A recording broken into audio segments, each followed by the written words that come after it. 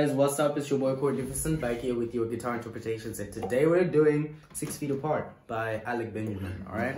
Now put your cap on fret number, it's fret number five, alright? And we're playing this in C, okay? So for the chorus, it's so far, C, na na na na, E minor,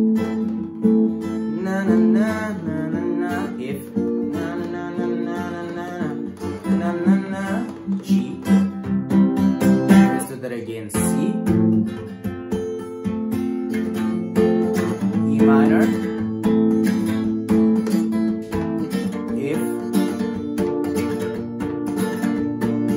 G.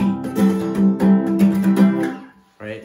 Um, let's just rewind to get the verse, okay? Let's say this. So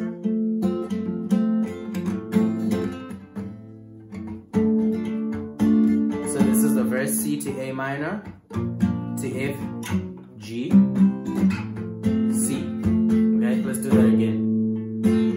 Na na na, na na na na na na na. Then A minor.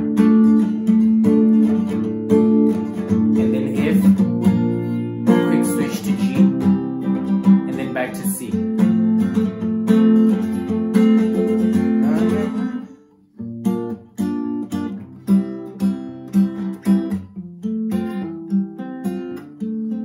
So the pre-chorus is na na na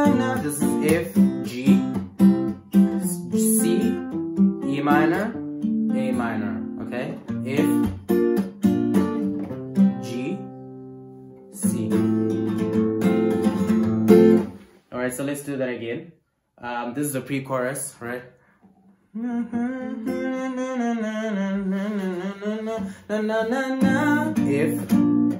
G, C, E minor, A minor. And then on the last part, you go again F, G, and then we get into the chorus. Okay,